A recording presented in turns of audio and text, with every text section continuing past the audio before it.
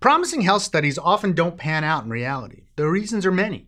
Research participants are usually different from general patients. Their treatment doesn't match real world practice. Researchers can devote resources not available in most physician offices. Moreover, most studies, even the gold standard of randomized controlled trials, focus squarely on causality. They're set up to see if treatment will work in optimal conditions, what scientists call efficacy. They're explanatory. Efficacy is important, but what we also need are studies that test if a treatment will work in the real world if they have effectiveness. These different kinds of studies actually exist. They're called pragmatic trials, and a recent one might have helped serve as a brake as the opioid epidemic accelerated.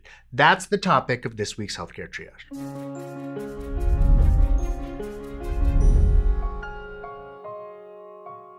Pragmatic trial design was described more than 50 years ago in the Journal of Chronic Diseases, in a paper that was recently reprinted nine years ago in the Journal of Clinical Epidemiology. A pragmatic trial seeks to determine if and how an intervention might work in practice, where decisions are more complicated than in a strictly controlled clinical trial. Studies are almost never purely pragmatic or explanatory, they fall on a continuum. A recent tool known as PRECIS-2 can help researchers devise trials to lean one way or the other.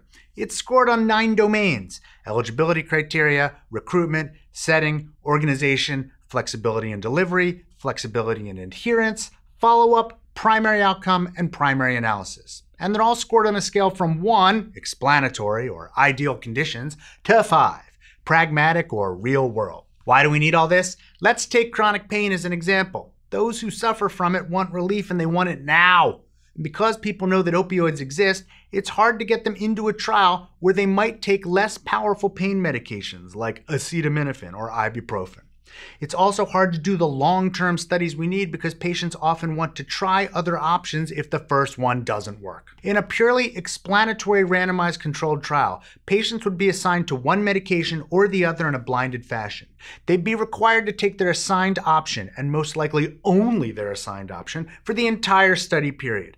If they failed to stay on protocol, they might be deemed a failure in the study. Under these conditions, it's hard to get patients to participate, and the same with doctors. They know that opioids are thought to be stronger, and many already prescribe them. The strategies for prescribing analgesics comparative effectiveness trial sought to overcome these barriers with a pragmatic design. To be eligible for the study, patients had to have chronic back, knee, or hip pain.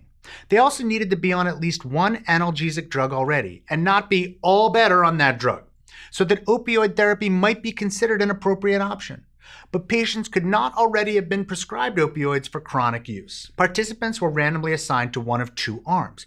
Both involved stepwise progression from less to more potent medications. One arm involved opioid medications, a progression from hydrocodone acetaminophen to sustained release morphine to fentanyl patches, for example. And the other involved non opioid medications, a progression from ibuprofen to nortriptyline to tramadol, for example.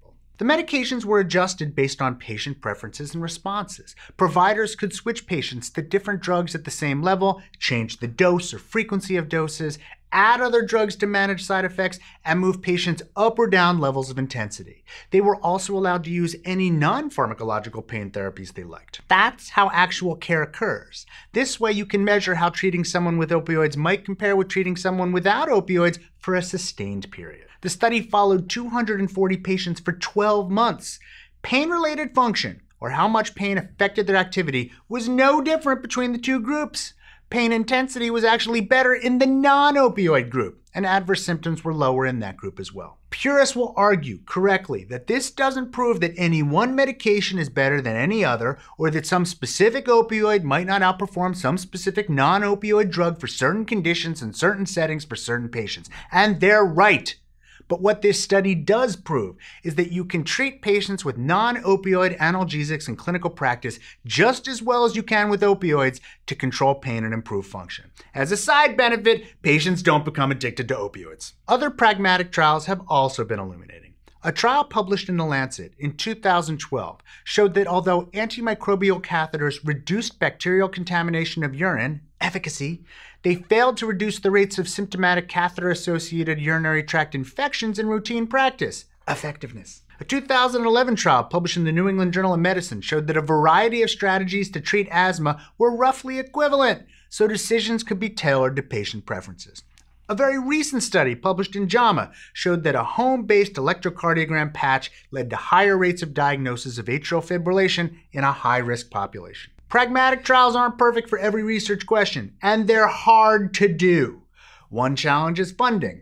Although drug companies are willing and ready to pay for randomized controlled trials to prove efficacy, it's not clear who's going to finance studies like these. They use lots of different drugs, which is what happens in the real world, and no company wants to foot the bill for other companies' products to be evaluated. Certainly, no opioid related companies would want to pay for this trial. Moreover, studies like these are difficult to design and they're expensive. They're logistically much more complicated than simple head to head trials. They involve complex protocols, significant education of providers, and lots of oversight. Randomized controlled trials are great for certain things. They absolutely have their place in determining efficacy and causality. But sometimes pragmatic trials are better. If we want to see improvements in care in the real world, not just the lab, we may need to push for more of them. Do you like the show? Always helps if you like or subscribe right down there. And another good way for you to support the show is a subscription service called patreon.com, where you, the viewer, can directly support on anything you like, like a dollar a month. More if you like, but if you don't want to, totally fine as well.